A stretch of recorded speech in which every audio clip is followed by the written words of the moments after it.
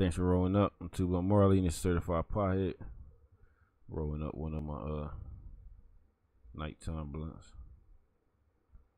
Um, yo, you know what we trying to do, bruh. Uh, we trying to get that 10k, bruh. Um, we need the RT and you run those numbers up. Break down and subscribe. Twist up the like buttons, bruh. Let's jump into today's uh into today's story, my dude. In Elkhart County, state police make a big drug bust. Take a look at this. This is the result of a traffic stop on the Indiana toll. Yo, hold on. My dude got everything, don't he? Yo, with the, all right, let's imagine these is pounds. Uh, uh, yo, these might be two pounds. So let's say this is eight pounds. Uh, what do you got? Pen tops of all sorts, bruh. What are these edibles? What, what is these?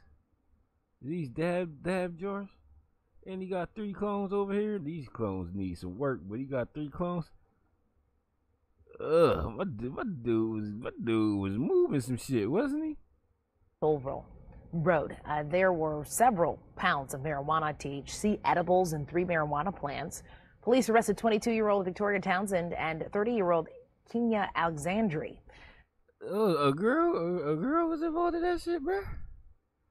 I, I don't know why I'm acting surprised and shit. Now I mean, women, women is criminals too. Women, women is criminals too.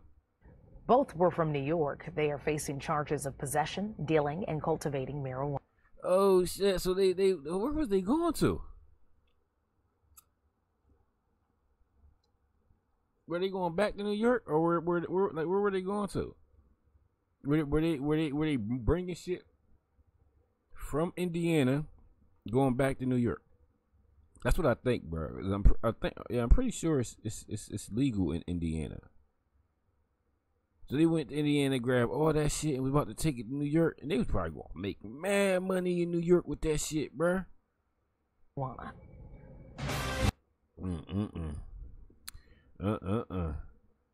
Somebody block. Somebody block gonna be dry, bruh. Somebody block about to be dry for the next couple days, bruh. Oh. yeah, bro. I'm glad that wasn't. Those, I'm glad those wasn't my, my peeps and shit, bro.